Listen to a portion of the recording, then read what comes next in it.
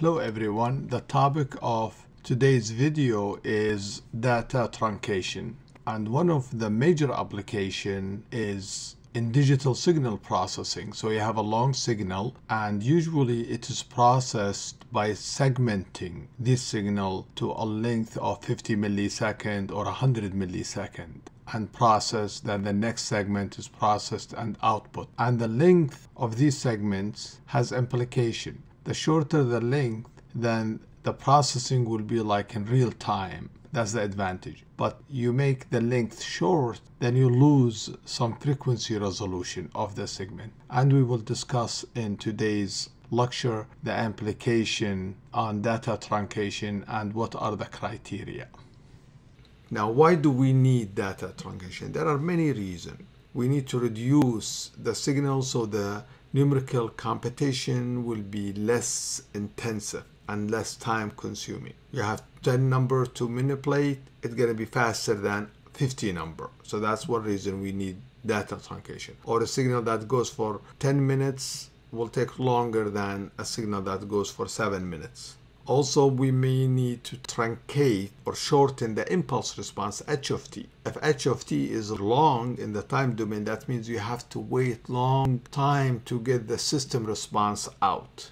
So maybe we need to truncate h of t without affecting the performance of the system. So the system response will be fast. Or sometimes we want to truncate, shorten the spectrum of the signal x of omega. And we will see in the sampling theorem, if you have x of t and the highest frequency or the bandwidth is 20,000 hertz, you have to take at least twice that sampling rate. So if it's the highest frequency 20,000 hertz, you need to take 40,000 sample per second. So maybe we need to truncate the spectrum from 20,000 to 4,000 hertz without affecting the speech. It's still understandable. I still can tell who's speaking, but just eliminate those high frequency. So now I re reduce it or truncate it to 4,000. So now I can take only 8,000 sample per second instead of 40,000 and that means I can process less samples, I can save less samples, transmit faster. All these are application of data truncation. And we will see how do we truncate data and what is the price we are paying for truncating the data. So our message signal is x of t. It could be something like this. So then I truncate it by a window. That means I multiply it by a window like this. And that's wt, that's the window. And this is the signal x of t that I truncated. That means I got rid of all these. Now this signal gonna be just x truncated and this is what this operation is. So we call this x omega t truncated signal. X of t the original signal. W of t is the truncated window. Let's see the impact in the frequency domain. So multiplication in the time domain is convolution of the frequency domain. So that means the spectrum of x omega t will be the convolution of this spectrum x of omega and the convolution of the spectrum of this one w of omega divided by the 2 pi. The truncated signal here now has a different spectrum. The spectrum x of omega will be affected by the spectrum of the window. So the spectrum of the original signal is this. Now the spectrum of the truncated signal is the whole thing here. So that means W of omega will impact the spectrum of the truncated signal. And the challenge is how do we find a window such that its spectrum will not change x omega a lot. It's still x of w of omega gonna be almost the same as x of omega. That's the challenge. How do you find this window? And there are so many research has been done to find the best window that will not impact the truncated signal. And I'm sure you already heard about the rectangular window, triangular window, Hamming window. Okay, so we said the big challenge is finding the window that will not affect the spectrum of the original signal. Let's take example that we already seen before, but now we're going to look at this example from truncation concept, not modulation. So imagine just a simple signal you have, which is just a pure tone, cosine omega t. That's your message you are transmitting.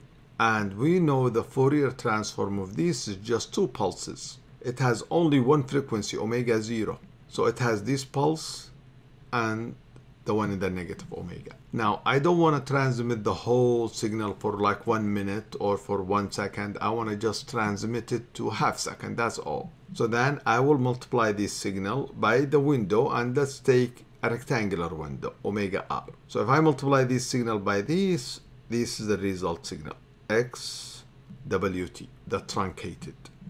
Very simple to see things in the time domain. Now let's see in the frequency domain, what does it mean? The Fourier transform of this window, the rectangular, is a sinc function, which is this. A multiplication in the time domain gave me this. The equivalent is a convolution in the frequency domain. That means I convolve x of omega with the rectangular spectrum. And when you do this convolution, do you remember in the time domain analysis we did, we found if you take any signal x of t and you convolve it with an impulse at any location, you get the signal at t0 here we did the convolution in the time domain. We can do the convolution in the frequency domain. So instead of t, you're going to have omega. Instead of t0, you're going to have omega 0. So when you convolve this signal with this one, you will get an impulse located at this location, which is this, using this property. And you will get this one at the location of this impulse. And you will get this. So what is the implication then of the truncation in the time domain? Well, the implication is the spectrum of the original signal is very sharp at omega 0. Now the spectrum of the truncated signal spread it out. It's yes, you, you have a high frequency at omega 0, but also you have frequency at higher than omega 0 and low omega 0. So basically the spectrum smeared out or spread or leakage. So you don't have a sharp frequency here. Now it is all these. And that is the price of windowing. Those are the three prices we pay for truncating. Spectral spreading, that means that spectrum here now spread it out. Spectral leakage, that means that spectrum here now leaked to these loops and poor frequency resolution. Now instead of seeing sharp omega 0 now it is poor resolution. Just to give you an example, imagine if you have a signal and you have in this signal two frequency omega 1 and omega 2 next to each other. So that signal could be probably something like this and it has two frequency omega 1 omega 2 now if I truncate this signal by this rectangular window now the spectrum will look something like this if I add these two spectrum it will look like this Yes, you still can see a peak at omega 1 and a peak at omega 2, but it's not sharp peak like those impulses here and here. And these we call poor frequency resolution. I won't be able to distinguish omega 1 and omega 2. I cannot tell if this is the two frequency. If omega 1 is 100 and this is 200, maybe I won't be able to tell. It could be 150, so poor resolution. Worst case scenario, if omega 1 are very close to each other, then you will get something like this. You won't even, you're gonna get a flat peak here. And that's like 100 hertz and this is 110. You won't be, be, be able to tell even. And that's what we mean by poor frequency resolution. Rule of thumb is the following. How wide do you want the window of truncation? The wider the window of truncation, that means this is T here, the smaller this main loop, because this main loop is 4 pi over T. So the larger T, 4 pi over T will be smaller. So that means this will be very narrow, like here when you make T large. And in this case, if you have two frequency adjacent to each other and you choose T very large, then still you speak of this sinc function separated. You still can't see, distinguish this frequency from this frequency. So how do you decide how big is t, the width? You decide the following. You first decide how much frequency resolution you want to establish. So let's say this is omega 1, this is omega 2. Then usually as long as the main loop of the window or goes to here, as long as this distance, which is this distance, 2 pi over t, equal omega 2 minus omega 1 then you will be able. So if I have this sinc function here you will be able to distinguish omega 1 from omega 2 because if I add this and this I will end up with a spectrum that will looks like these and I still can distinguish these omega 1 from these omega 2 this is the criteria so you decide what's the frequency resolution. Do I need to see 10 hertz? That's mean 2 pi times 10 hertz. So the smallest frequency resolution separation is 10 hertz. That will determine this. Then you solve this equation.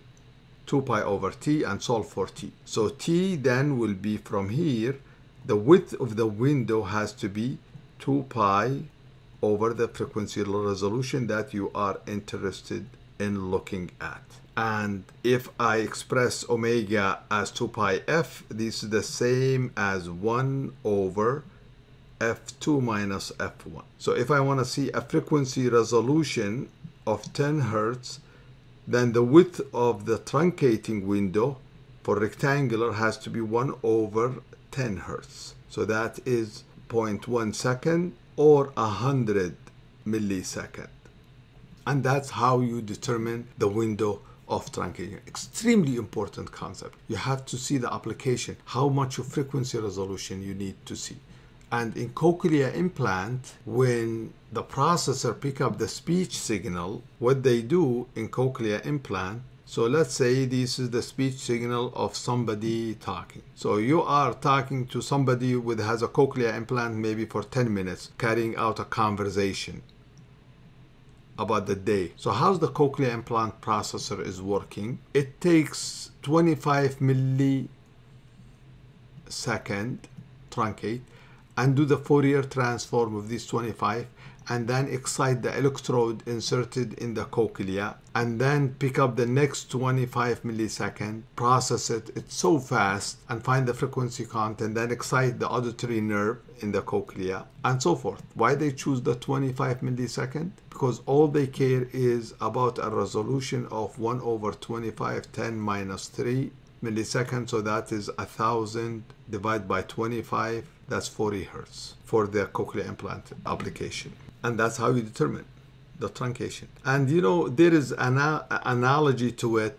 You we always say before you reach a decision make sure you listen enough or you do an, enough analysis or research. Then you will reach a good decision. That's the same thing. Before you truncate try to listen for a longer period. The longer the period you listen to the signal the better frequency resolution you will have so as I said, the challenge is to find what is the perfect window to use. Do you use a rectangular? Do you use a triangular window? Do you use Hamming window? Well, the criteria is the following. Those are the three criteria you want. You want smaller main loop width. That means that's the main loop width you want the smallest. You want to choose a window that will give you a small main loop width. So I can distinguish a frequency here from here if the main loop is small. Two, side loop with high roll off rate. This is the side loop.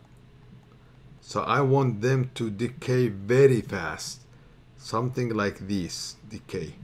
The third one is a small side loop peak. So that means I need the side loop, the first one, to start low, doesn't start that high. Maybe it starts here.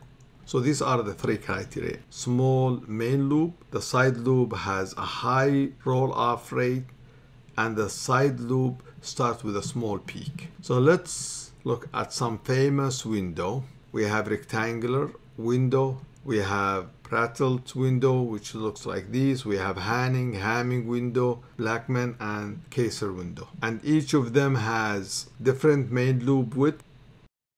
That's the main loop. So the smaller the main loop, the better is the window. So if I look at this, which one has the smallest is this, the smallest main loop. So the rectangular in this criteria is the best choice. Now the roll off, I need a very fast roll off. That's here criteria. Which one has the highest roll off is the minus 18 is the best. So that means Hanning window and Blackman window is the best for a very fast roll off. Which one has the smallest peak side loop? That means which one that starts with a small side loop? It's this one and this one, the Blackman and the case. That start. Maybe they start like larger main loop, but then these will be small. So it depends on your application. If you want a small main loop and you don't care about the roll off and this, then pick up your rectangular. If you care about the roll off, Hanning window or Blackman window. Hanning window is a good choice because it has a very fast roll off than the Blackman and it starts with a small main loop. So many application you will really find the Hamming, the Hanning window used more often. Now Hamming also used a lot because it has a peak side level very small, minus 42. Okay, let's see window truncation in filter design. And we will compare two type of window, a rectangular window and a triangular window. Let's say we have a system and the impulse response is h of t. Now we know this system h of t, if I find the frequency response h of omega will look something like this. That's a low pass filter with cutoff frequency, this one. And this is an ideal low pass filter. See how drop fast? And we know we cannot build an ideal low pass filter. Why? Look at its impulse response, h of t. It's non-causal. That means if I excite this system with an impulse at t equals 0, it's already giving me an output before it even see the input. In addition to that, h of t will just keep going, going for a long time. That means I have to wait for a long time for the system, so we use truncation. And how do we use truncation? We multiply the ideal impulse response that I want with this window. And when you do this, you will get h of rt, the solid line here. If I multiply the ideal h of t with this window, the triangular window, then I get the dotted one impulse response this one. So that is so far it is good in in the sense it i don't have to go just wait wait wait for the impulse response. Now it end at this t over 2 now about the causal don't worry about it because what we can do is shift it. So instead of this one start at t0 it gonna start here. So it's causal that means i have to wait that that long to see the system response. So if the system excited by this impulse, the output will start like this and peak here. So I will see a peak at T0. That's the delay. And that's a causal system. Okay. So truncation, I multiply this window by the ideal impulse response. I get, I get a practical filter. Let's see the impact in the frequency domain. So the Fourier transform of my ideal filter is this one. And the Fourier transform of this rectangular window is this one. And multiplication in the time domain, it's convolution of these two in the frequency domain. And remember convolution, you flip this around the vertical axis, you go from infinity and you slide it, multiply, integrate, slide, multiply, integrate, and that's what you will get. This is your filter. So it's not ideal anymore. And if you use the triangular, it's this filter. With rectangular, this filter decay faster. With triangular window, it decays slower. So if I want to cut off this frequency, I still gonna see up to here. For triangular, I will see all the way up to here. So triangular, that's a disadvantage. But one advantage of triangular, it's flat at the pass band. Here there is some ripples. If your application can tolerate the ripple and need a decay and cut off frequency and the decay fast, use rectangular. If your application need a flat response and doesn't care if it decays slowly, then use a triangular window. Well, these end up the Fourier transform and the application of Fourier transform and system analysis chapter. Thank you.